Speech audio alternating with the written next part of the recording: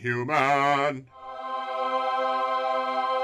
Today on Speaking Human, we grab some groceries off the shelf and run out of the store without getting arrested thanks to Amazon Go. Then we sweat it out as we answer five burning questions about the Amazon brand.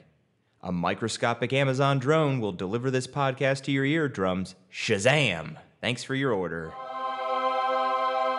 Speaking Human. Welcome to Speaking Human, where we simplify the world of marketing for humans. I'm Shad Conley, and with me, as always, is my co host, Patrick Jever. How's it going, Patrick? It's going even better now that we're talking about Amazon Go. Which is going to get everybody going who's listening to this. Patrick, let's start it right off with a bang. We're going to answer some hard questions today. So let's start with a hard question. Are you ready? I'm ready. Go. Here's the setup. So Amazon calls you up and they want you to participate in this beta test. And here's what happens every product in your house, everything you own is taken away and replaced with an Amazon product, for better or worse. Your smartphone, your computer, your TV, your coffee maker, your vacuum, everything you own. Would you do it? Is Amazon listening right now? Of course they are. Well, then yes, I'll take that deal. Here's my question Would I get to keep the Amazon stuff? I'd say you could have the option at the end. You know, they can be like, you want your old stuff back, or you can keep it, or you can keep some of it. You know, but it's a year. It's a year long. Did I mention that? Well, here's the thing though, like other than the technology itself, right? Like Alexa and the Fire tablet and all that stuff. Everything else on Amazon, it could essentially be the same vacuum, right? I just get a new one because they sell everything. Well, this is, I'm assuming it's all Amazon versions of things. Let's say they go into making everything because they do everything now. So they go into making all these products themselves. Picture everything to be connected, but it's all made by Amazon. That's a tougher yeah, question. so it's not necessarily the brand names you know and love. It's all something new made by Amazon in a lot of cases, connected to their infrastructure. That's a tough question, actually. Now that we dig a little deeper into the details, Get the specifics of the program, right? Yeah, yeah. I'd say probably I'd try it. I don't know. What happens if I say no after two months? Once you're in, you're in. I don't know. Would you do it? I would do it in a heartbeat. Would you? Such is my loyalty to the Amazon brand, or my trust, I guess I should say, my trust in them that I'd, I'd make the leap. It'd be a little scary with some things, but I'd be like, eh, Amazon knows what they're doing. They'll make it worth my while. Yeah, but have you seen the Fire phone? Ah, yeah, it looks a little junky. Yeah. Their hardware itself, not great, but it's designed to be cheap, right? So that's why it's not necessarily great most of the time. But I guess if we're using hypotheticals and we're saying that they're making all this stuff, then I would say that they're probably at a point where maybe they're making better quality things. No, it's all garbage, but it does really cool things. If it's all interconnected, right? That's kind of the, Yeah, yeah, yeah. That's kind of the premise, you know. It's Amazon tends to find a way to make things better for people, right? The experience better. So you can expect you'll get, I would expect anyways, a good experience. Maybe not the best hardware, but a good functionality or experience out of that stuff. I'm sort of on the fence there. It is a tough call. I No, think the- about giving up my like smartphone for an Amazon version that I'll probably like best, but then I can think of five other things in my house that I would love to have Amazonized. Well, like what? Give me one. So, say for example, like you get an Amazon refrigerator that automatically order things when they're done and they just come, so you never run out of certain things. Or the printer, so you're out of ink, it like automatically orders ink so that you have it and you never run out. I think of the Amazon process automating itself. Yeah, I do like that. The refrigerator is pretty awesome. Essentially, what Amazon Go is, right? Only it's in your home. Yeah, that's a good way of thinking about it. So, yeah, it's a tough question when you think about all your stuff and you're like, oh man, there's bound to be some you'll like less, but is it worth it for this experience? A year's a long time, but I'd at least try it out. I'd probably go with it. Yeah, I do like Amazon stuff. Generally speaking, their hardware is pretty good. I'd say pretty good. Yeah, like I said, I think they're more known for their experience and the benefits as opposed to like hardware, but they're even coming along in that realm. You know, while we're talking about it, what's your kind of connection or your family's connection to Amazon? Is this a brand you're like strongly connected to, or is it like, eh, obviously you're aware of Amazon because everybody is, but what's your usage? Yeah, I think everybody and their brother has had an Amazon account. Probably ordered something through them at some point, wouldn't you think? It's got to be a high number of the population at this point. I don't know. Isn't Amazon like 20 years old at this point? With Prime and everything, there's just everybody I know, you know, is, is using Amazon in some capacity on a regular basis. Yeah. Personally, my family, we have auto shipments that come to us each month with like vitamins, which is a cool service if you haven't tried it. Auto shipments is uh, by far one of the most convenient services that they have.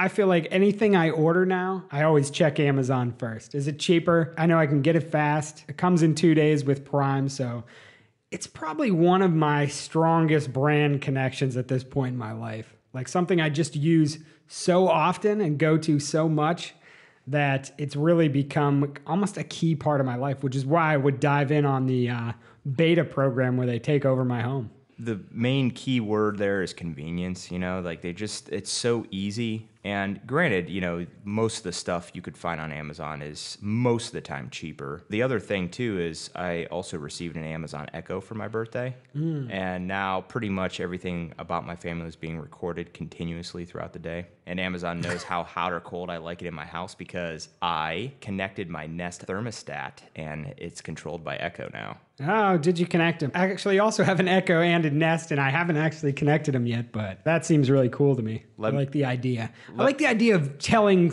machines to do things for me. Yeah, it's pretty cool when you go turn up the thermostat to 70 and it does it. So futuristic. Yeah. We'll be answering some more tough questions about Amazon in a little bit, but first, Shad, let's talk about Amazon's latest game changing innovation Amazon Go. Let's keep this moving at a good clip. It's called Go, right? Four years ago, we started to wonder what would shopping look like if you could walk into a store, grab what you want, and just go? What if we could weave the most advanced machine learning, computer vision, and AI into the very fabric of a store so you never have to wait in line? No lines, no checkouts, no registers. Welcome to Amazon Go. That was an audio clip from the Introducing Amazon Go video, which gives you an idea of the basic premise behind the brand's latest shopping innovation. So let's talk for a minute for people who don't know about Amazon Go or haven't heard about it yet. What is this thing, Patrick? What is it?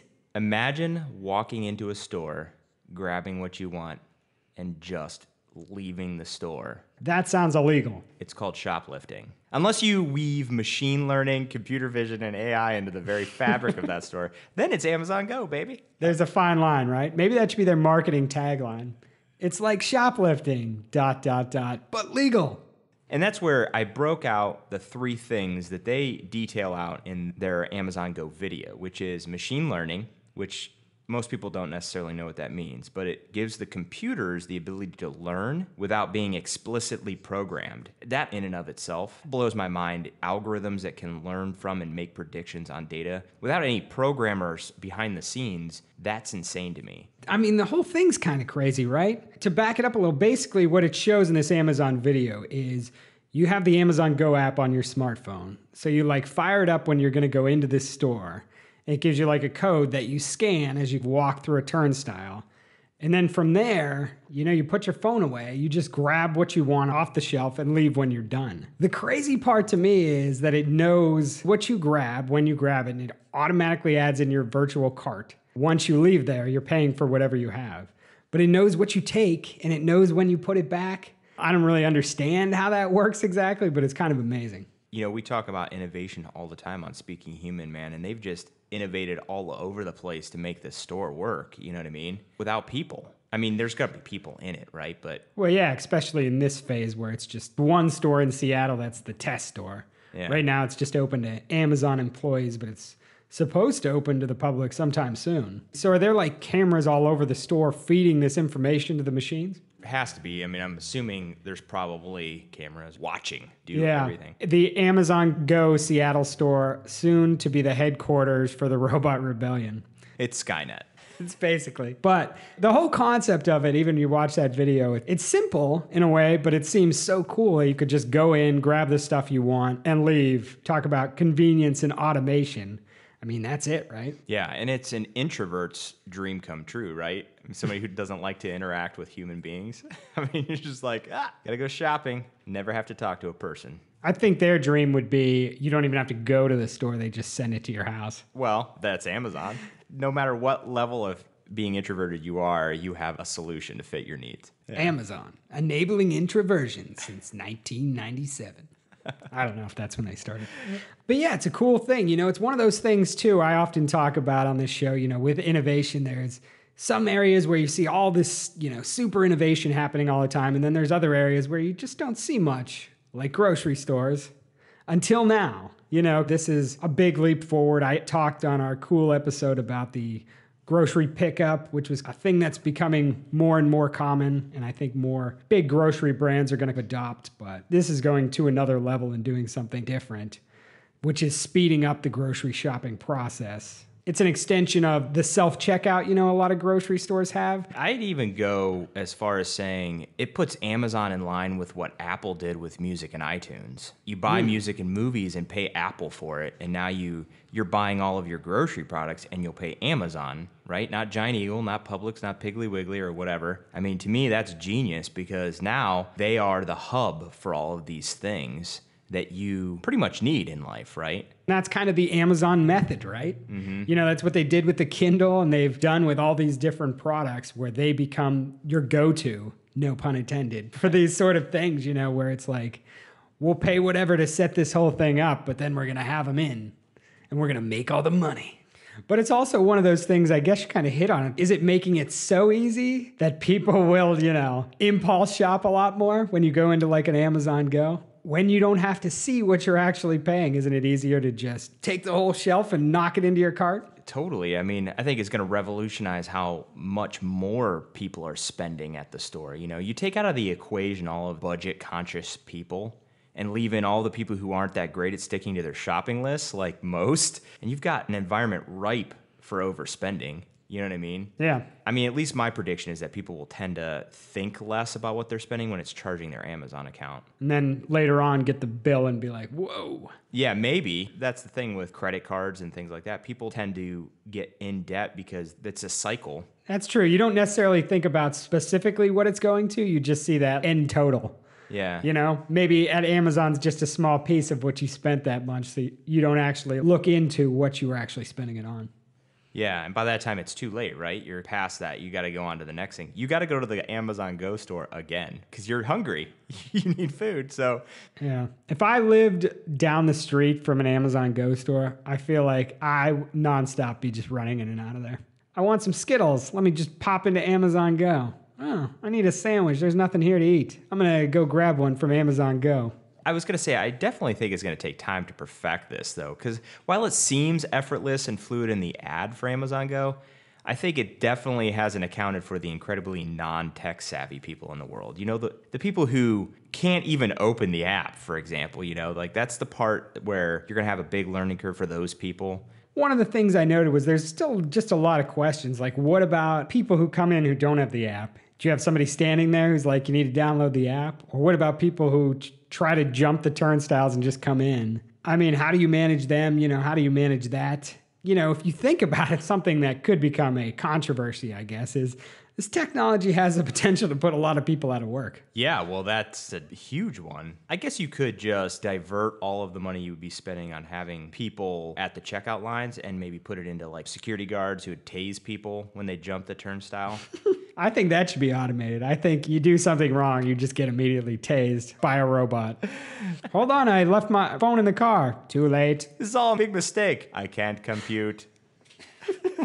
Yeah, so in theory, you know, they could be like, all right, we're going to use all these people in other ways. You know, if they're not going to be cashiers and baggers and, and managers, you know, we'll have them stocking or making fresh food or adding these other great things. But I don't know that they'd all do that rather than just rake in the extra dough. Yeah. And who knows? Maybe this technology then progresses over to other stores. So it's not even an Amazon store, but you're using Amazon Go technology.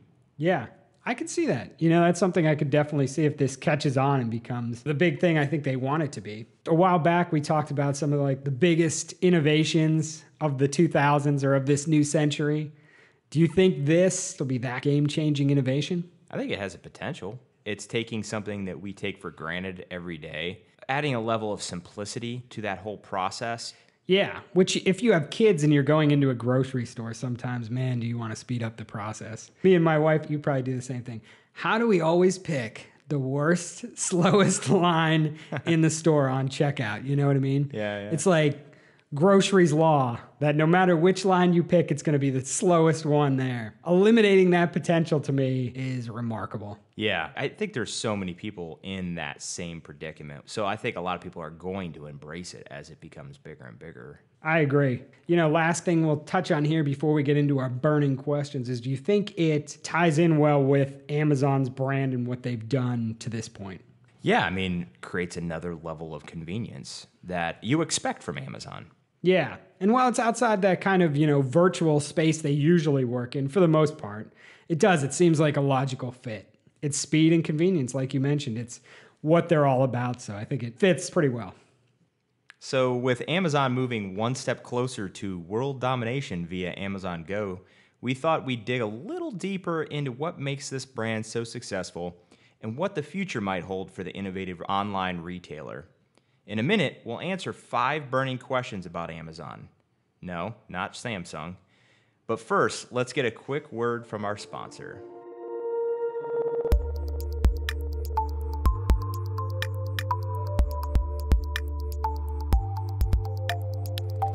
Today's episode of Speaking Human is sponsored by Monsters Unlimited, a creative agency with a business brain.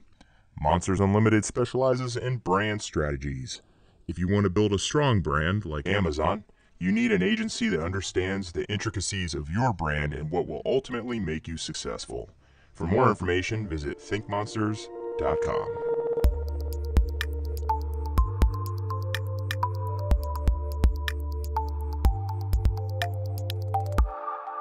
All right, Patrick. So, what we're going to do now is play a little game of question and answer focused on some of the different facets of the Amazon brand. It's going to be intense. You're going to sweat, but I think we can make it through. Shad, if you could sum up what Amazon does so well in one word, what would it be? And why has the brand been so successful?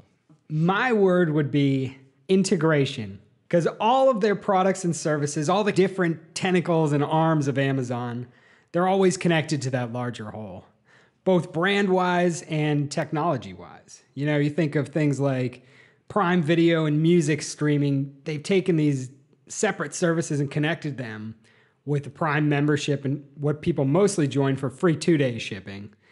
And they've integrated these things in there so that people are adopting them and it's becoming part of their system. They do that with every service they build for themselves. You know, they created these fulfillment centers to get all these products out fast, and now they sell that service to business.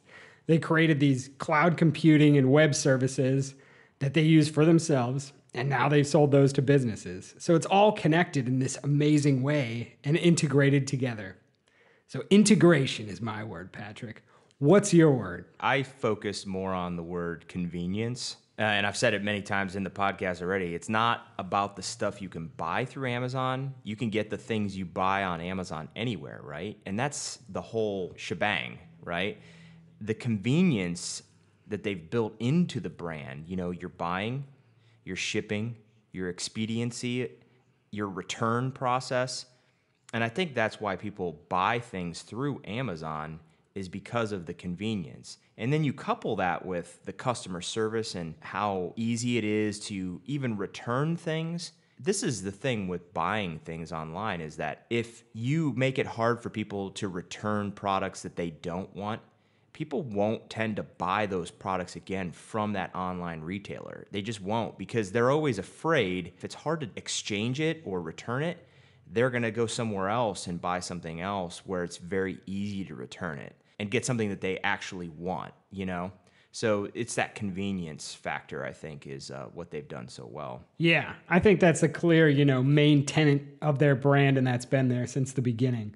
Glad you mentioned the customer service angle, though, too, because every customer service interaction I've had with Amazon has been amazing. Mm-hmm. Like, you know, everybody's like, takes a while to do things. If I need a refund or something, they just like instantly give it to you. They're just so fast and easy. They don't like fight with you about anything, they just give it to you. I mean, where they've innovated in technology, they've definitely been very innovative in just the way that they handle customer service. Yeah, undoubtedly. Undoubtedly. So let's reach into the question hat here again and pull out our next question. Again, in one word, what do you think is Amazon's biggest challenge moving forward? It's funny. I'd say technology. While it might be one of their biggest strengths, because it is, technology is definitely one of their biggest strengths, it is also one of the biggest challenges. And here's why I think Amazon is ahead of where technology is currently. So it's a challenge. It keeps them from moving forward at the proper pace of the company. You know, it has to slow down and figure out ways to innovate in the technology field to solve its own problems to move forward, right? So while technology is a great strength to the company, it can also hinder its accelerated growth. It's a good point. You know, it's a good angle and, and way of looking at it, especially for a company so reliant on technology. Mm-hmm. What would you say in one word is their biggest challenge? My word was speed, which, you know, seems crazy because that's one of their biggest skills and benefits is speed, but can they keep up this rapid pace of innovation? How long before someone moves in position behind them, moving faster, right? Because they've established this bar of innovation and service that's so high and so ahead, they need to keep moving that forward. That's a hard thing to do, especially at the rapid rate that they've been doing it. As you touched on your last answer, rather than providing unique products or services, their whole thing is they offer a better experience. Mm-hmm. So the challenge for them is maintaining that level of better and constantly moving that bar forward. And as they stretch out into these new areas, that's going to be even harder for them to do. Yeah, I agree. What's better than two day shipping? One day shipping, same day shipping. Well, that's one of the things. You know, you get to a point eventually where it's going to be hard to keep raising that bar. Mm-hmm. You know, you're going to tap out at some point. And I think that note is a good lead into our next question, isn't it, Patrick? Mm hmm. Yeah. If you had to pick Apple, Google, or Amazon, Shad, to invest all your money in right now, which one would you choose and why? This is all my money, every cent I have. Everything. Invest it all, Shad. This, this is a good question, right? It's a tough one. All great companies, well known brands, but I think I would go Amazon. My reason is I feel like they're just the strongest at this moment. They kind of have the strongest sense of identity and the most loyal and set customer base. So I think Apple and Google are experiencing more growing pains right now, kind of trying to figure out what those brands are going to be moving into the future. So they're just slightly unsteadier at this point, even though they're both great brands, both beloved brands who do a lot of innovative things. I think Amazon's currently in the best position. That could change any day, but right now, they would be my pick. A lot of love for Amazon right now. I noticed. I noticed you have this romance going on with Amazon. I wasn't aware of until this episode. Well, you know, they have robots standing here right now holding both my arms. Their drones are here outside my door with lasers threatening me. So, which one would you pick, Patrick? Where's your money going? Probably Amazon. Honestly, only because they have such a solid foundation as an online retailer. I mean, can you buy stuff online without going through Amazon? Sure. Will you pay more? Probably. But Amazon is insanely good at what they do. Yeah, definitely true. But man, what a slap in the face to Apple. What a burn for the brand you love. I do love Apple, but the interesting thing about that brand is that the core is still very much the same. The core? Well done. You like that? I'm always trying to throw those in when I can. Well done. So we talked a little bit about Amazon, you know, and all their various many innovations. What do you think has been Amazon's most important innovation to this point? At least today, it's about their remarketing. Think about this, Shad. When the last time you visited a website and searched for a product, and then you possibly looked for it on Amazon, and then you browse the web, what popped up? Ah, ads for Amazon? Yeah, ads, ads for that product and links back to Amazon to buy it. And I think they've just perfected this tactic. I'd say I think the remarketing is one of the best and brightest of their innovations. That's a good one. You know, not something I would have thought of, but definitely has an impact. Can you remember in your mind the first time you saw one of those? Well, people still like that don't know how that technology works, they still are creeped out by it. So yeah, it's kind of one of those mind blowing things that I just feel like your first experience with it, it's like seeing a ghost. And from a technology standpoint, it's not like it's crazy new technology, but it's definitely innovative in that way that they've integrated it everywhere and seeded it online so that, you know, it follows you. Yeah, they own a large portion of the internet. Yeah. What would you say is the most innovative thing? I had to go with the Prime two day shipping. That to me has just been such a game changer, not just in the sense you're getting all these things in two days, which is fast, but the fact that it's changed customer expectations. When I go and order things online now, I expect them in two days. All these other companies, all these other online retailers have to live up to it, and they can't because they don't all have the shipping capabilities that Amazon has. Fulfillment universe they've set up across the country to get everything to people within two days. So that to me has just been a huge game changer for them and a huge marketing win. You know, whenever you can make people expect something of your competitors that they can't live up to, that's a pretty good marketing move. Yeah, absolutely. And think about that subscription model, you know. So you pay for that Amazon Prime, mostly you get that free shipping, right? What does that make you do? It makes you inevitably buy more things so that you're getting your money's worth on shipping, right? Mm-hmm. So you're buying more. In the end, they're winning because that you're buying more things through Amazon. It's an insanely genius way of integrating people into their ecosystem. Yeah, and you feel like you're getting free shipping, but you're really not. But then you expect free shipping from the other guy. Yeah, and then you come back to Amazon going, well, I could get it on Amazon and it'll come in two days, right? It's a smart move all around. So, what new service would you most like to see Amazon launch next? There's Any- no limitations to this, by the way. You can go out as far out as you want. As long as they don't create a service called Qwikster, they'll be fine. which they should because it's a great name. well, I'm going to go pretty far out, but not that far out. My answer is teleportation, I like that. I like that. right? It sounds crazy, but it only makes sense that the company focused on making life more convenient and getting things to you faster would jump in this arena. This has Amazon written all over it. You get packages in an instant, you know, just stick them in this teleportation porthole, they come out right to you. And then they could use, like they like to do, take this technology they develop and sell it off, you know, and make money on it in other ways. So then you have, you're applying it to human travel, right?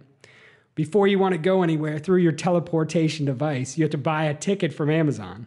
Say, I want to go to Europe, I got to buy a ticket through Amazon, then I'm allowed to use the device to do that. That would be huge. Big money maker. I, th- I feel like that's where Amazon should be focusing their attention right now. Well, you know, that's the key to my heart. You know, I've said this many, many times. Teleportation is the future of the world, of humankind. If we could get Amazon to, I don't care who's doing it, just do it. Just do it, make it happen. But it would be awesome, the ultimate solution, which is teleportation, right? If you order something online and it's instantly there, I mean, instantly, you can't really get much better than that. I mean, nobody's ever going to go, can you get it to me faster than instantly? Can you get it to me? It's like uh, Minority Report. Can you get it to me before I order it? We'll consult the oracles. Precogs. Yeah, that's right. The precogs. Yeah, so here's what I'd like to see Amazon launch next. What is it? With every Amazon Prime subscription, space travel. So $99 a year, your Amazon Prime equals one round trip flight into space and back. Take me to space and deliver me back safely home. Now that's Amazon Prime shipping at its finest. What if they just, here's what they should do. As a business, you know, you get a one way trip with your subscription. Yeah, well, that would make a lot of sense. But to come back, it's $9,000. yeah. So people are like, ah, when am I going to get this for half off? I do like we're- adding that additional service to your Amazon Prime subscription, though. It's a good tie in with the Blue Origin, and especially, you know, you want to get that service to take off. Easy integration to get people on board. Literally. If I can get a trip to space and free two day shipping, that's amazing. I think that's worth it. Yeah, I think so too. Shad, I think we've answered all the burning questions. Been an interesting conversation. So many cool facets. I can't wait. When they come out with their space travel or teleportation prime service, we'll talk about this again. Let's jump into our top takeaways.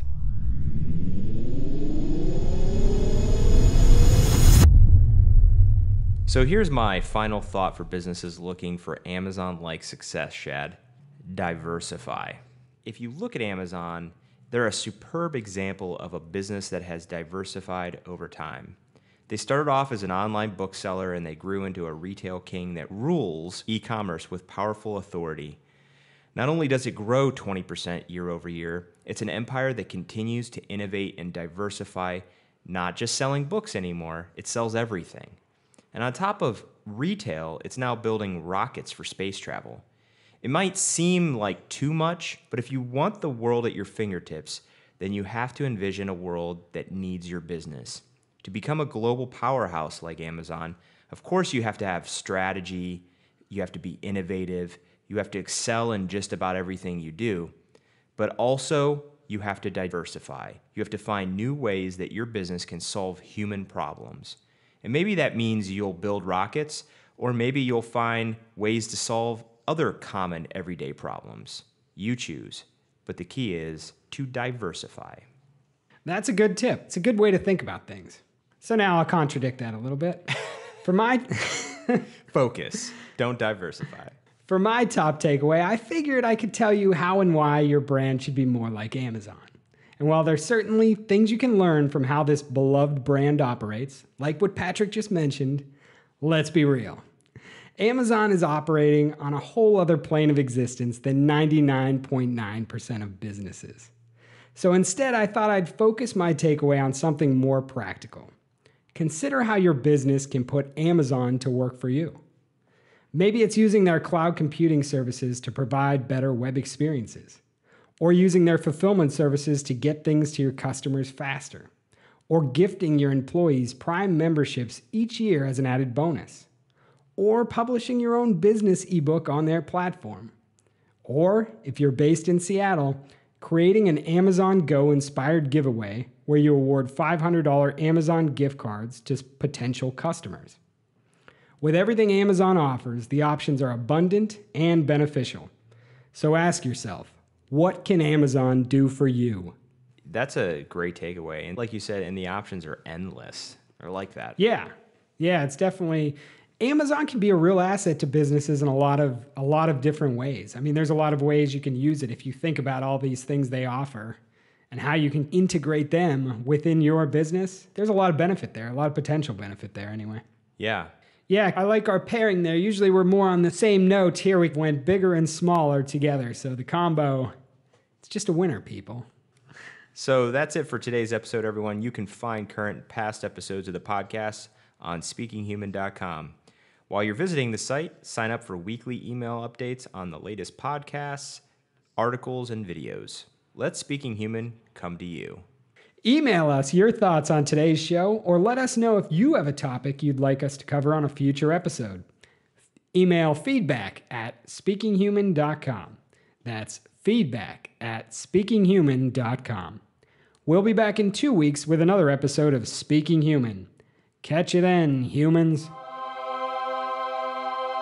Speaking Human.